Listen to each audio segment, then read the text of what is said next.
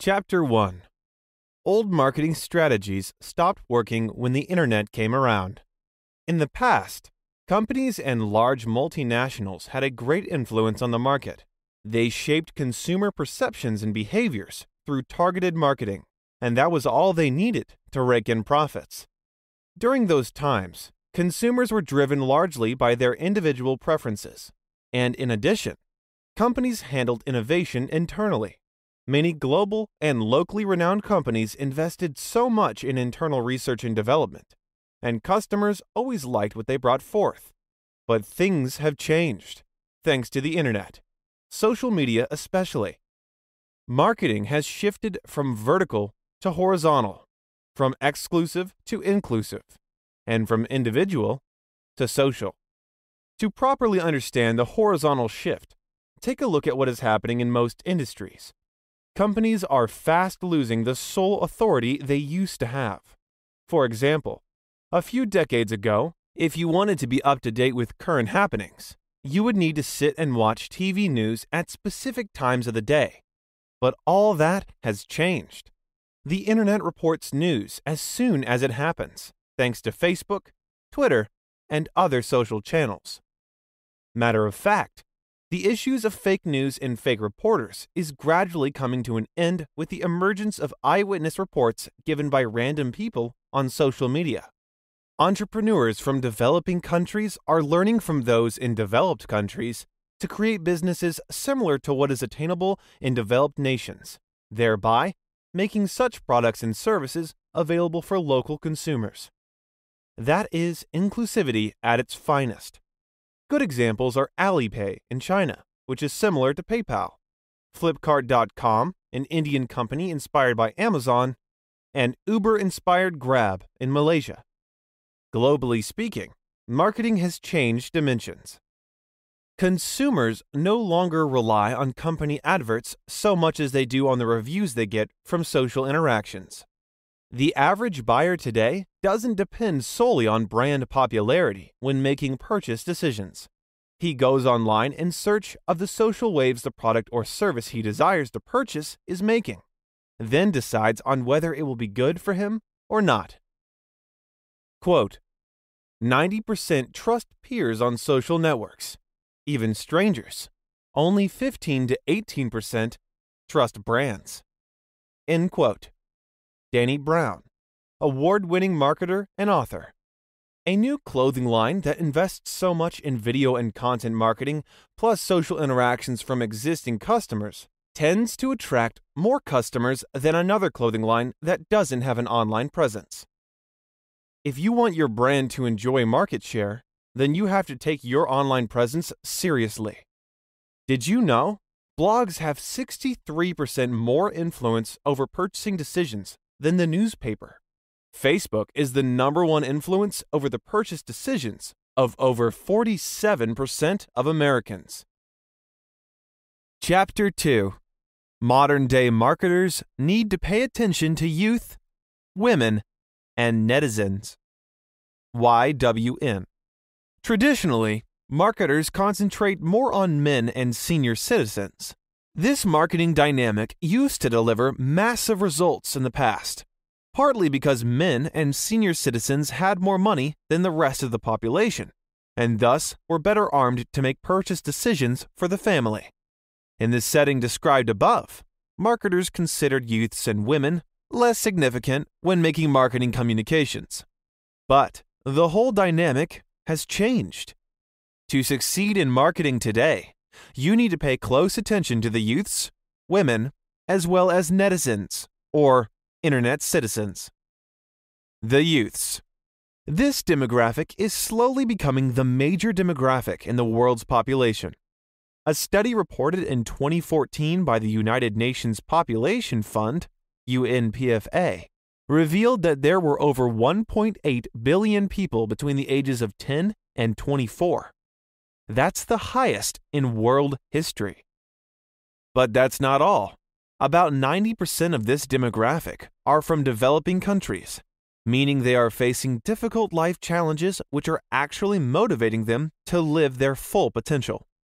The result is that many youths are increasing their income and net worth. A lot of them are either in the middle economic class or higher, and the number is predicted to rise in coming years. Not to add the fact that this demographic takes social interaction seriously. They are the main target of most marketers, and for obvious reasons. If you're bringing a new product to the market, then your first target should be the youth. And if you succeed with them, your product will almost always succeed. Apple practiced this when they introduced the iPod to the market. Spotify and Netflix are also good examples of products that succeeded because the youth embraced them. Think about this. In years to come, the present youth will be the mainstream in marketing. The earlier you capture their minds, the better for your brand. Women. If you want to grow your market share, then learn to take women seriously. Women have a unique gift when it comes to making purchase decisions, and this has made many of them in charge of household and even office purchase decision making. Unlike men, women don't go straight ahead to purchase a product. They take the time to research the product, compare prices, listen to their F factor friends, family, fans, and followers, and social reviews before finally settling on a product or service to buy. Because of this, most of them control their family finances. Research conducted in 2013 shows that women are 41% of the American employees who have the power to influence their employer's purchase decisions. Lastly, women are holistic shoppers, so your marketing communications won't be a waste. This is unlike men who go for what they want and consider it a waste of time to do any deep research. Think about this. If you want to grow your market share, then invest in marketing communications directed at women. Netizens. In the early 1990s, Michael Hauben coined the word netizens and defined it as a group of people committed to the growth and development of the internet. The netizens are the real Democrats, and they are committed to helping each other get better. One way they do this is through helping one another make good purchase decisions. This is seen through social media interactions and reviews about different brands and products. The average buyer takes the words of a stranger on the internet more seriously than your marketing communications. If you can target and influence netizens, then you will wield real power. Finally, netizens are the key to expanding your brand's heart, share, and passing your message across to a wide audience. Chapter 3 Customer Path has changed in this connectivity era. It's important you adjust too. In general, buyers tend to obey the following sequence or pathway from when they first encounter a new brand to when they make purchase aware, appeal, ask, act, advocate. The first stage is when customers first learn about the brand. This could be through personal research, company advertisements, or word of mouth. The method of communication often impacts the appeal stage. For instance, customers are more likely to be interested when a friend or family member recommends a brand to them than when they merely encountered the brand in a TV commercial. This is why having a strong brand awareness is important. The more brand awareness a company has, the better its chances of gaining new customers.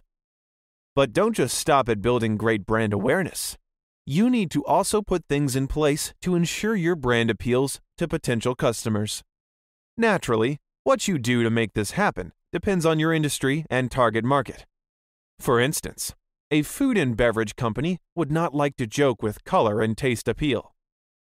Note, studying your industry and understanding what the market wants and needs will help in making your brand more appealing. Quote, ask is the next stage after appeal. The potential buyer won't spend much time in this stage if the brand appeals to him. But basically, what happens here is that the customer begins to ask around about the brand. He asks friends, family, and also checks what the online community has to say about your brand. Your efforts might become frustrated in this phase if your brand is not popular offline and you don't have quality online presence. However, if the potential customer is satisfied with his research findings, he will be moved to quote, act. This is the phase where he patronizes your brand. Many brands stop their efforts here and so find it difficult to turn customers into brand loyalists. The quality of your product or service and the way you deliver it matters so much. If you win the customer's heart through quality and excellent service delivery, you will naturally turn them into loyalists. People love to have good things, and they don't hesitate to recommend good products and services to people in their social circles. Tip Use refunds and returns, product tips, and how to guides to improve your customer post purchase service. This has the capacity to turn customers into brand loyalists. Chapter 4 Strategies for Improving Your Marketing Productivity. To improve your marketing productivity, you need to pay attention to the five A's that make up the pathways every customer follows. Your goal is to put things in place to ensure your customers move from brand awareness to brand loyalty. Here's how 1. Increase attraction. You do this to make your brand more appealing to customers. If people don't find your brand attractive enough, they won't move from the awareness to the appeal stage. What really makes a brand appealing these days? Well, in this digital age where everything is automated and tech driven, human centric brands tend to win the hearts of people. Keep note any brand that reaches down to our humanity and has the goal of doing humanity good almost always wins people over. Timberland, the outdoor lifestyle brand, practiced this well when they pledged to cumulatively cultivate 10 million trees and make use of renewable energy sources in their production process. Another similar brand is Tesla. This brand is eco friendly, and that's why people love it so much. Keep in mind, if you want to increase brand attraction, touch the emotions of people in a good way. 2. Optimize curiosity. Make your brand appealing enough. Add an element of curiosity, and you would move customers from awareness to appeal and to ask. How do you make people curious about your brand? Reveal little information and make them want to know more. One way you can do this effectively is through content marketing. Content marketing is a subtle form of marketing in which you provide strategic and targeted information to a specific audience. Usually, the information meets the immediate needs of the audience while pointing to the brand as the source of that information. For instance, if you own a fitness company, Investing in content marketing means dishing out useful health and fitness information for free on your website and slash or social media handles. If you have an additional budget, you could leverage traditional media like TV, radio stations, and news agencies. Through content marketing, you will spark enough curiosity to make your potential customer move from the appeal stage to the ask stage. Below is what you can do to improve your brand's chances of being patronized by the customer you have appealed to. 3. Increase commitment. How do you get a customer to act? For many brands, this is the hardest thing to do, but it doesn't have to be so difficult. If there's one thing you should know about modern marketing, it is that customers like to have security and plenty of options. Give your potential customers multiple choices and make them secure enough, and you will easily convert them to actual buyers. Ask companies with excellent payback guarantees and refund systems, and you will know how true this is.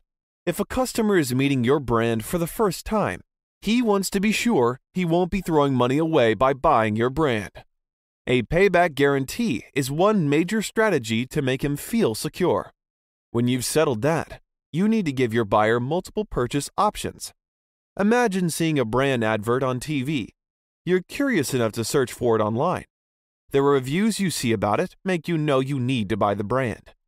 Then you tried purchasing their product, only to find that you can't order online, only found in a remote store far from your location. Discouraged? Oh, yeah. A brand should go to great lengths to make itself available to the customer.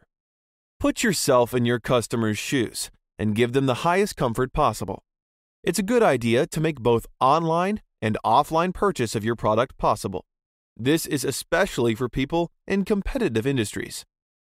4. Increase affinity. How do you do that? Up your customer service. Be sure to give your customer the best treatment possible. While doing this, don't think it's for the present. You're doing it for the future. When a customer becomes a brand loyalist, he will not only repurchase, he will tell others in his circle about your brand. Another point is to ensure you deliver as promised. Some marketers and salespeople overpromise and underdeliver. Don't do it. If anything, it should be the other way around. Deliver more than your customer expects. You can also harness the power of mobile apps, social CRM, customer relationship management, and gamification to increase brand affinity. Chapter 5 Give customers the wow experience. Have you ever been to a store to get something and the service you experienced just left you screaming, Wow! It happens occasionally, and sometimes it seems like giving customers the wow experience is a thing of chance. Really, if you look at it from one angle, it's something that happens mostly by chance since customers are wowed to the degree in which their personal expectations are met. And you won't always know the expectations of your customers, nor their past experiences. So there's no way to guarantee a wow formula, right? Not exactly. Taking time to study the behavior and expectations of customers in your industry and then coming up with creative ways to meet their needs will ultimately wow them. The key is to listen to the inaudible demands of the market and commit yourself to meeting them. Quote, there is only one boss, the customer, and he can fire everybody in the company from the chairman on down simply by spending his money somewhere else. End quote. Sam Walton. Conclusion The internet and technology have changed the face of marketing. To enjoy marketing success, you need to move from traditional to digital marketing. This does not only imply using digital tools to market your brand, it's deeper than that. It means understanding the predominant demographic of the modern market and knowing how they make purchase decisions. The modern customer walks the following path for every brand they buy awareness, appeal, ask, act, and advocate. Your job as a marketer, therefore, is to ensure all things are in place to guide your customers through all the stages. Try this. Analyze your marketing strategy in light of the five A's Determine what stage in the pathway your brand is most likely to lose customers. Then find ways to fix it. Chapter 4 of this summary will show you how.